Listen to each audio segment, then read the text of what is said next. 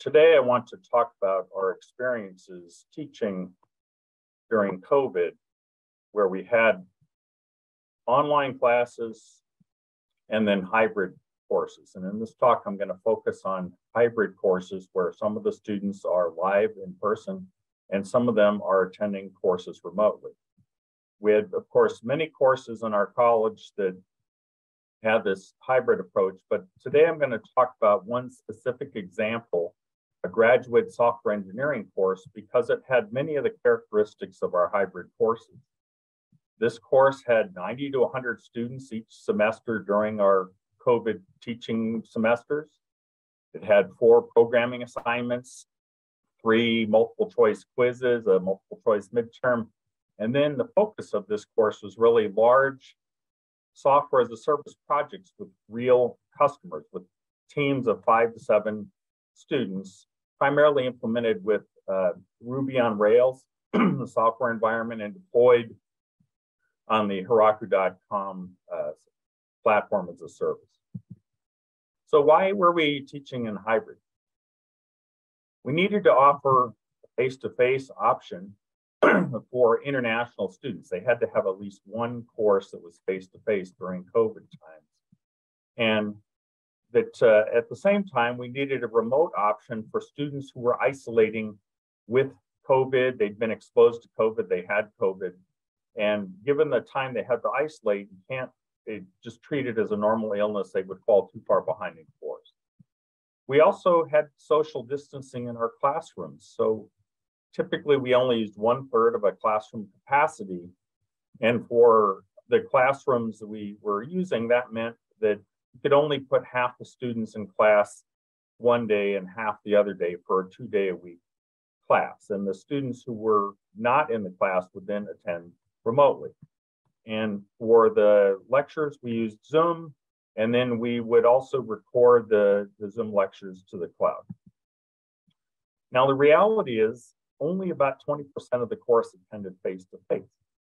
About 60% of the course would attend live remotely, and about 20% watched the recorded Zoom lectures. At least we hope they watched them. We didn't have any way to record that except for the fact that they did well on their assignment.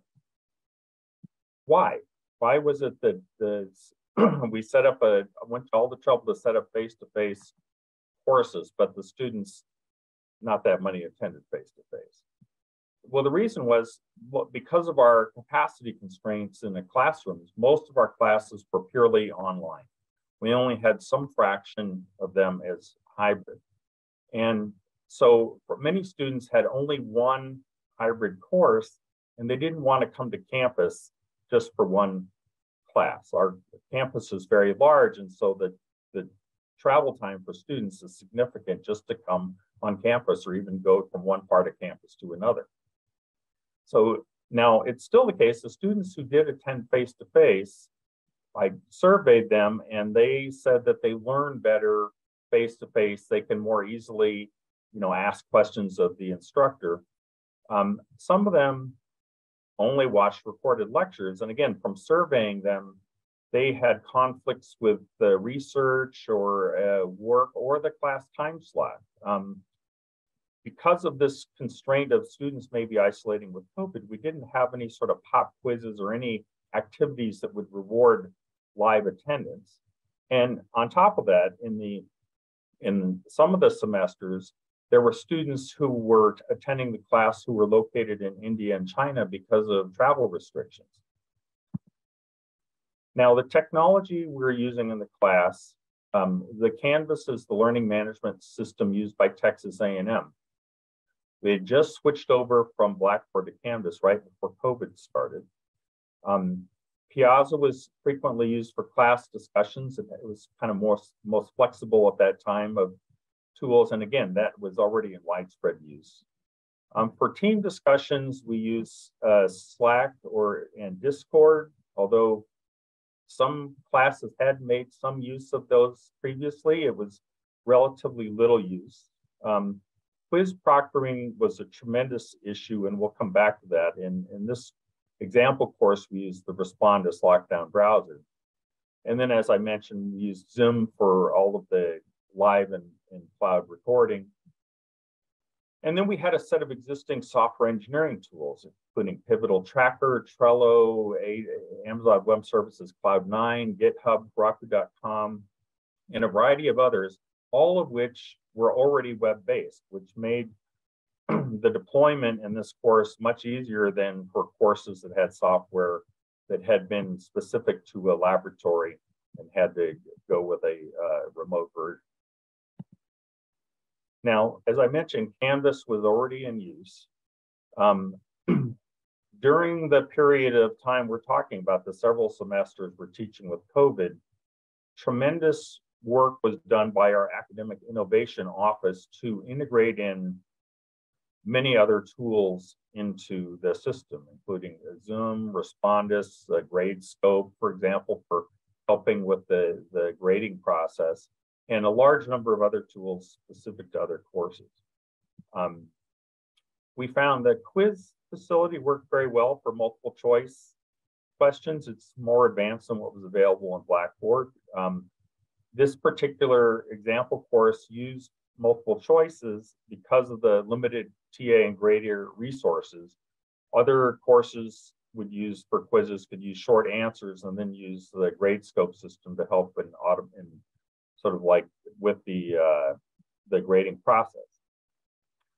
This course initially used Piazza, as I mentioned, for class discussions because it had been used in the past, but then it switched over to uh, Canvas discussion groups because Piazza changed their licensing model that made it not possible for us to use it anymore due to various legal concerns. Now, this was true not just in this particular course, but across campus that Piazza mostly went out of use.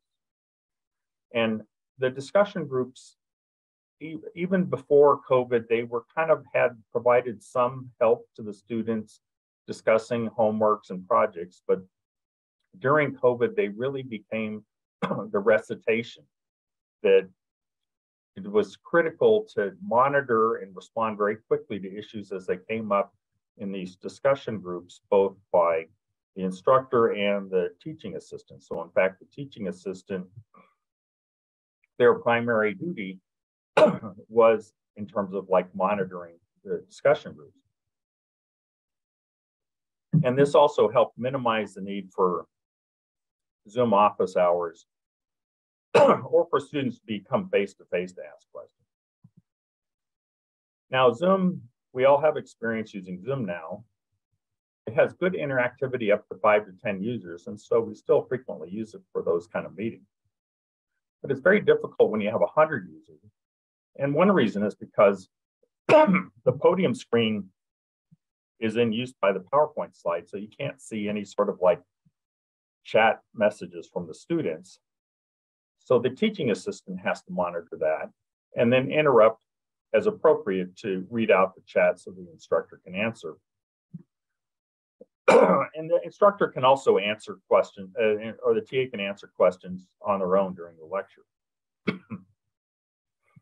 now, the interactions are captured in the Zoom Cloud recording, and we use closed captioning because this helps international students, especially those who were remote in other countries. And that was all captured for later reference by the students. So the students in surveyed made use of those transcripts in order to help them better understand the lecture material. Um, the challenge was capturing the face-to-face -face interactions with students because the classrooms do not have microphones for the students, so the instructor has to be careful to repeat everything so that it appears on the transcripts. Uh, for team discussions, industry is already using Slack in, in uh, for teams and also Discord, although it's mostly popular with gamers, many students wanted to use the Discord system for discussions of teams. And so typically each team would have multiple channels on Slack or Discord associated with different aspects of their project. And the instructor and TA were part of these channels. Now we found the primary problem was when you have 16 teams in one class, the amount of traffic is very high and it goes almost 24 7. Um, and so paying attention to those so that the instructor and TA can answer questions from the teams was challenging. Now, most of our customers are non-technical here, and so they were not part of the, the channels, but uh, some customers had technical ability and they were part of the channels, and that improved the interactions with the customer. But another problem was, of course, not all the communication was via Slack. Sometimes students had text messages, sometimes email. So tracking everything that is happening on each team was more challenging than when we had just daily uh, stand-up face-to-face meetings uh, by the team. Now, some teams were doing that uh, via Zoom, but uh, many teams were not. And so also GitHub became more critical for coordination of the software status because there was less verbal communication among team members. For the customers, some of the customers were local to College Station, Texas area, but others were spread across the US and, for example, in uh, Portland, Oregon. Um, and so because of the COVID rules, we all the communication with the students was done remotely. Sometimes it was by teleconference, sometimes by Zoom. Um, and then, as I mentioned, sometimes using uh, Slack, and of course, just email. Um, we found initially it was challenging for the non-technical customers to communicate because we're talking about building, you know, uh, interactive web-based applications. And Zoom interactions are more formal than face-to-face. It's not as easy to share a screen and sketch on a tablet, and the Zoom sketching tools are not very useful. Um, and just sort of the bandwidth available to between the customer and the and the team is is uh, is less than it would be if everyone is in a conference room. Um, and in particular, it made it harder for the customers to understand demonstrations of the software that the students were giving. Um, you know, flipping back and forth from a full screen mode to sketching on a tablet or and then uh, to get sort of an idea of the user interface and then for the customer to be able to to see that. Eventually, the teams and customers got good at um, at interacting, but then of course it was the end of the class. For quizzes and the midterm, um, the Canvas quiz facility works well, so you can view the midterm as just a big quiz. Really, the huge challenge is proctoring of the exam. And remember, we had students that were outside the US as well. Um, the options that were offered by the, the university for proctoring included an on-campus proctoring center that was set up, which essentially had a large number of undergraduate students were paid to watch other students on Zoom. Um, but the restrictions of this system meant that it was only good for high stakes exams like a final exam or a heavily weighted midterm. And the midterm in this class was not heavily weighted. There's an HonorLock system, uh, commercial system that has pop-in live proctors, but again, it's not suitable for uh, the quizzes, which are like 15 minutes long. So the system that we wound up using was the Respondus lockdown browser and webcam monitoring because it's completely automated. And so it can easily be used for quizzes, or so we thought. In fact, there were many problems with uh, proctoring. The first problem is networking. Um, that what's surprising, this was not the students remote in India and China. It was not their network problems. It was students that live in off-campus apartments that have free Wi-Fi that's not very good. And the Respondus system is very, very sensitive to network issues in terms of particularly going through the initial process of authenticating this, themselves to the system before starting their quiz many students might take as long as 10 minutes to get into the quiz. And now some students, the ones who were face-to-face, -face, chose to just take the quiz on their laptop in class, and those didn't have any problems. Um, another problem is webcam issues. The, the system needed good lighting to avoid triggering warnings. And some students had lighting so bad it looked like they were in a cave when you watched the video. Um, some students have laptops with broken webcams. They've been using the same laptop for years and parts of it are broken. So they had to like set up a cell phone as an alternate webcam to use with the system. And many of these issues were only discovered in the first quiz. Um, to summarize our experiences it, with this class and many others, the tools made tremendous progress during the semesters of hybrid teaching. The university very quickly stood up an academic innovation office that focused on providing the tools and the training to the faculty and the teaching assistants as fast as possible. Um, some things were just the commercial products got much better. For example, the breakout facility in Zoom went from really terrible to okay. Um, Canvas integration with other tools got much, much better during the, the semesters.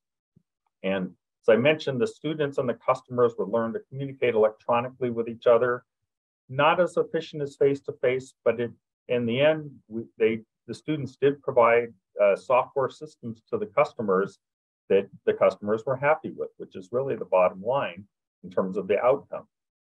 That uh, the students themselves already were quite good at communicating with each other electronically. Um, that the one drawback is that on a team, there's always the chance that some students are not doing their fair share of the work. And when you're not face to face, it makes it easier for those students to hide. Um, really, I'd say about 90% of the headaches were related to exam proctoring because we went from proctoring uh, distance courses uh, for you know students that are in industry, a relatively small number, to suddenly having proctoring for uh, tens of thousands. And our College of Engineering is 23,000 students, so a very large increase in the amount of proctoring that we had to do. So it was a lot of scaling pains. Kind of summarize really what we learned here. We we were doing emergency hybrid teaching. Remember, this is not planned teaching. We switched over from face-to-face teaching to hybrid teaching in one week's time, with the faculty working tremendously hard over that week to get everything quickly set up, and then roll it out as uh, we went through the semesters. Um, we had some summertime in there that we could use to improve things as well, but really to provide a quality experience for students in a hybrid experience will require much more investment. In some ways, uh, distance only courses are easier because all of the interactions are managed through the system and because to a typical distance course, the number of students involved in it is small enough that the facilities and, and products like Zoom are already capable of handling it. But 100 students at a time is uh, is uh, challenging. And of course, remember, we're talking graduate students in this example, but uh, our undergraduate courses also have frequently classes of those uh, sizes. So in conclusion, that uh, we learned a tremendous amount uh, during COVID, and my hope is that we can apply this to uh, future courses, especially for our online offerings.